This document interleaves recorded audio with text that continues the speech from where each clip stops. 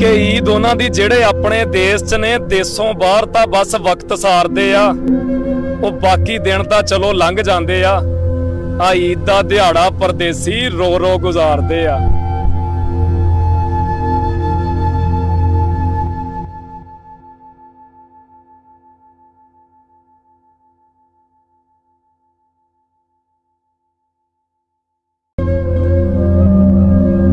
ਕਿ ਈਦ ਦੀ ਜਿਹੜੇ ਆਪਣੇ ਦੇਸ਼ 'ਚ ਨੇ, ਦੇਸ਼ੋਂ ਬਾਹਰ ਤਾਂ ਬਸ ਵਕਤ ਸਾਰਦੇ ਆ। ਉਹ ਬਾਕੀ ਦਿਨ ਤਾਂ ਚਲੋ ਲੰਘ ਜਾਂਦੇ ਆ। ਆ ਈਦ ਦਾ ਦਿਹਾੜਾ ਪਰਦੇਸੀ ਰੋ ਰੋ ਗੁਜ਼ਾਰਦੇ ਆ।